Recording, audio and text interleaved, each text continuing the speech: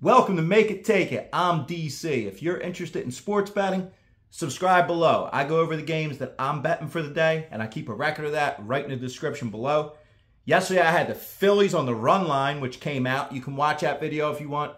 I'll link it in the description below as well if you wanted to go back and see it, because I like to keep everything really easy to find and all my calls right in the playlists and my previous videos in the descriptions. Also, Milo continues his amazing streak again this year with the Phillies. When he calls, I'm not sure what his record is now, but that's three in a row with his Phillies calls. So he's not with us today. We'll see what he has when he comes back.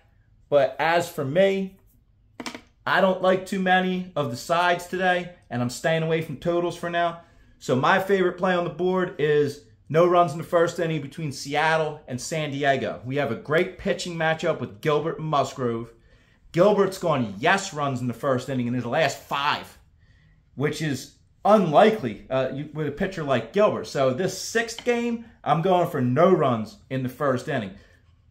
I stayed. I talked last week about going no runs in the first inning against San Diego in a game, but I said I was staying away from it because of that Tatis Soto combo.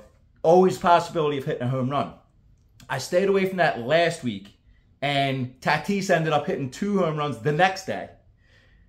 So I do think Soto is definitely due for a home run. I'm just hoping it's not in the first inning here. So I'm he's gonna pull off in the next day or two.